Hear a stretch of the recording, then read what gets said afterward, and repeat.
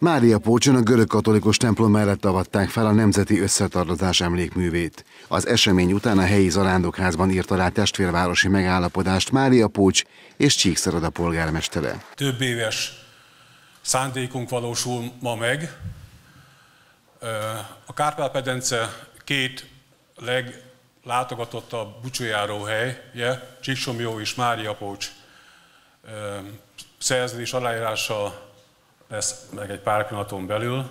Az eseményen felszólalt Csíkszereda polgármestere Kórodi Attila is. Azért, hogy összekössük egy helyeinket, azért, hogy mert a nemzet összetartozik, azért, mert a jövő közös, független attól, milyen határok választanak el bennünket, ez a testvértelepési szerződés is húzza alá, együtt vagyunk, egymásért vagyunk és összetartozunk. Mi a végeken lakunk, Kárpánincinek a végein, önök az állam határénak a végein érezzük azt, mit jelent a végvárakon dolgozni, közösségért tenni, cselekedni, ezért is érzem azt, hogy itt a Mária Pócsiak és a Csíkszerdaiak, Csíksomjaiak jól megértjük hogy egymás jövőben is, és támogatjuk mindazokat a programokat, amelyek a hiten, a reményen és a Mária tiszteleten alapszanak. A tanácskozáson Simon Miklós, a térség kormánypárti országgyűlési képviselője azt mondta, az elmúlt négy évben milliárdos egyházi fejlesztéseket hajtottak végre oktatási, szociális intézményekben kormányzati segítséggel. A választókerületünkben tíz egyházi szociális, oktatási, nevelési intézmény működik. Megújultak ezen intézményeink, több mint 7 milliárd forint értékű beruházást hajtottak végre az egyházi szervezeteink ezen intézményekben. Egyházi örökségvédelemre 48 programban 406 millió forintot fordítottunk.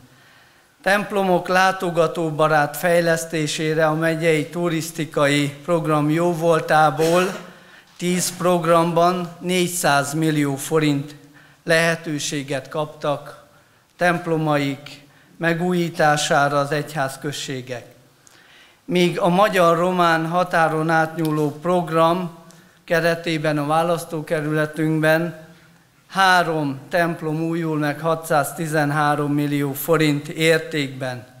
A Magyar Falu Program jó voltából 35 közösségi tér kialakítása, fejlesztése történt meg 470 millió forint értékben. Tehát összességében mintegy 9 milliárd forint értékű fejlesztés történt az egyházak vonatkozásában 18 és 22 között a választókerületben. Kelemen Hunor, az RMDS elnöke, Románia miniszterelnök helyettese azt mondta, az erdélyi magyarság 32 éve lelki zarándok úton van, amelyet a szabadság tett lehetővé.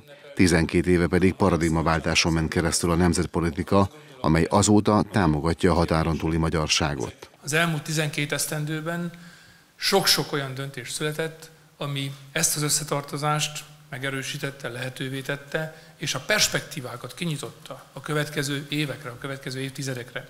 Ezt nem lehet elengedni, ezt meg kell őrizni, meg kell erősíteni, és ez megint csak egy döntést jelent. Szijjártó Péter külgazdaság és külügyminiszter úgy fogalmazott, sors döntő választás előtt áll az ország és a nemzet. A baloldal itt Magyarországon ki akarta zárni a határon túlélő magyarok közösségét a közös döntéseinkből.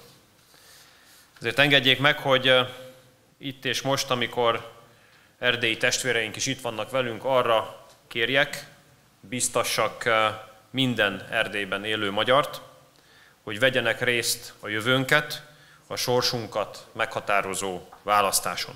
A miniszter arról is beszélt, hogy szombattól már nyitva vannak a romániai magyar konzulátusok és a választópolgárok előtt. A szavazás napján, április 3-án pedig nem csak a 12 nagy, hanem a 10 magyar-román kis határátkelőt is nyitva tartják a szavazni vágyók számára.